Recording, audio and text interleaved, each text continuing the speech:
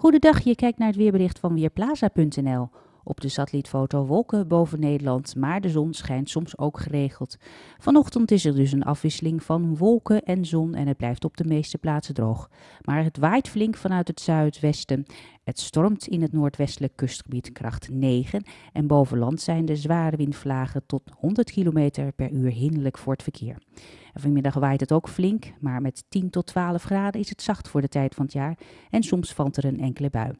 Vanavond verwacht ik meer buien, die trekken van west naar oost over het land en de wind die neemt geleidelijk aan in kracht af. De temperatuur daalt naar 7 graden. En morgen waait het een stuk minder, hooguit windkracht 6 aan zee vanuit het zuidwesten. Het is wisselend bewolkt en vooral in het noorden valt er een enkele bui. Met 7 tot 9 graden is het minder zacht dan het vandaag zal worden. Maandag, dinsdag en woensdag, dat zijn wisselvallige dagen. Op maandag blijft het nagenoeg droog. Op dinsdag en woensdag vallen er weer geregeld buien, maar met 9 graden blijft het zacht voor de tijd van het jaar. Dit is Diana Woei van Weerplaza.nl.